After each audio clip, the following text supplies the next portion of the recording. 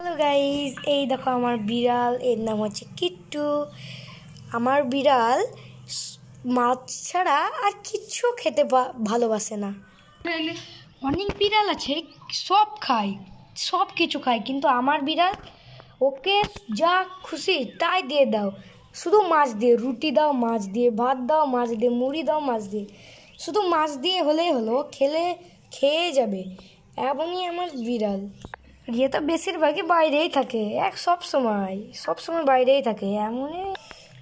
আর আমাদের বিড়াল এমনই যে সব বিড়াল আছে, যে অন্য জায়গায় যেখানে পাবে সেখানে টয়লেট করে দেবে। কিন্তু আমাদের বিড়াল টয়লেট করার জন্য বাইরে যাওয়ার জন্য এবারে কানতে লাগবে। যখনই ছাড়বো, তখনই বাইরে গিয়ে গর্ত খুঁড়ে ওখানে টয়লেট করে একবারে ঢেকে দিবে। আর আপনাদের বাড়িতেও যদি বিড়াল প্রথম প্রথম আনেন, তাহলে আপনারা কিন্তু বেশি লাড়াচাড়া করবেন না। আগে সবাই আগে খেতে দেবেন ওকে একে আমরা ছোট্ট থেকে মানুষ করছি। ও কিন্তু একটা মেয়ে। আর অনেকজন আছে যারা নিজের বিড়ালকে অন্য জায়গায় ঘুমাতে দেয়।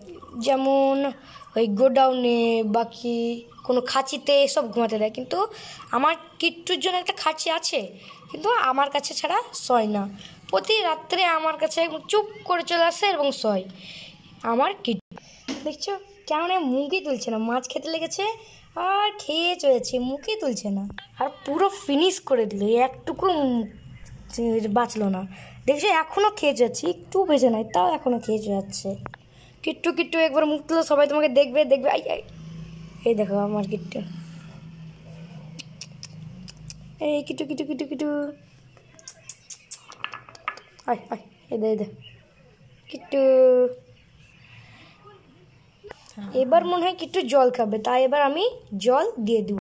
আর, সব সময় এদিক ওদিকে তাকানো আর পালানোর ধান্দা জানেন না তাই।